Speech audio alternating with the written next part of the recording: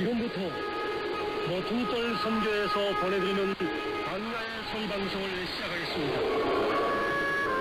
하늘에서 열리는 백명의 소리, 광야의 소리 방송입니다.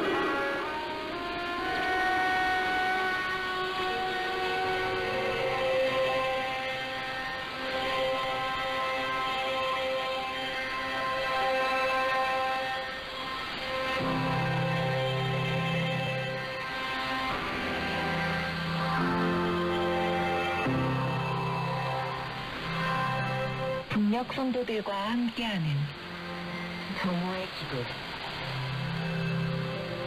여호수아 군대가 형성을 지를 때 여리고 성이 무너졌던 것처럼 남과 북의 교회가 하나되어 기도의 감성을 외칠 때 남과 북의 기도띠가 이루어지고 견고한 힘이 뚫릴 것입니다. 매일 낮 12시 정오의 나팔 소리를 울리겠습니다. 주님이 가르쳐 주신 기도, 그 기도로 같이 기도하겠습니다. 하늘에 계신 우리 아버지여, 이름이 거룩히 여김을 받으시오며, 나라의 임하옵시며, 뜻이 하늘에서 이룬 것 같이 땅에서도 이루어집니다. 오늘날 우리에게 일용할 양식을